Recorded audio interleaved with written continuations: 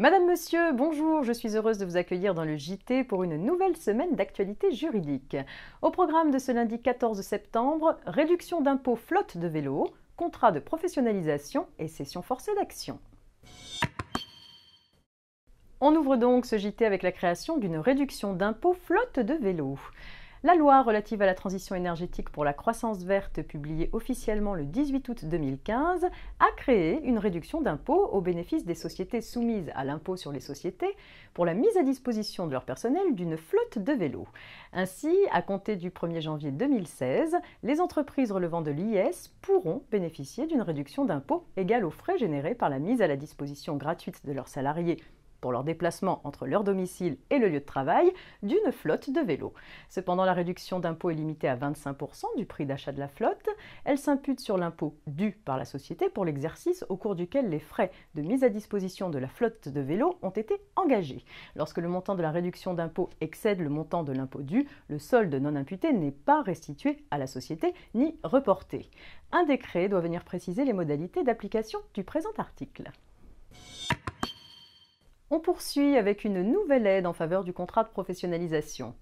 Les groupements d'employeurs qui organisent, dans le cadre du contrat de professionnalisation, des parcours d'insertion et de qualification personnalisés en faveur des jeunes âgés de 16 à 25 ans sortis du système scolaire sans qualification ou rencontrant des difficultés particulières d'accès à l'emploi, ainsi qu'au profit des demandeurs d'emploi âgés de 45 ans et plus, peuvent bénéficier d'une aide de l'État. À compter du 1er janvier 2016, cette aide financière sera d'un montant de 814 euros par accompagnement et en année pleine. Par ailleurs, à compter du 1er septembre 2015, le dépôt des contrats de professionnalisation auprès de l'organisme collecteur paritaire agréé sera dématérialisé. Les employeurs devront adresser leur contrat de professionnalisation à l'OPCA au plus tard dans les 5 jours qui suivent le début de chaque contrat via le portail internet de l'alternance alternance.emploi.gouv.fr. On termine avec des précisions sur la cession forcée d'action. Depuis le 7 août 2015, le juge peut, en ultime recours, obliger la vente des actions des personnes qui contrôlent une entreprise en redressement judiciaire au profit de personnes présentant un plan crédible de sauvetage de l'entreprise et de maintien des emplois. Cette cession forcée des actions ne peut être imposée que dans des sociétés en redressement judiciaire d'une certaine taille, à savoir dans les sociétés d'au moins 150 salariés ou dans une société qui contrôle une ou plusieurs autres entreprises dont l'effectif salarié total est d'au moins 150 salariés.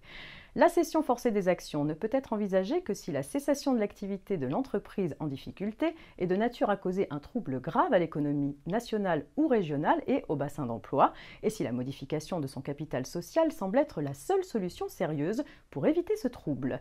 C'est la fin de cette édition, je vous souhaite un excellent début de semaine à tous et je vous retrouve demain.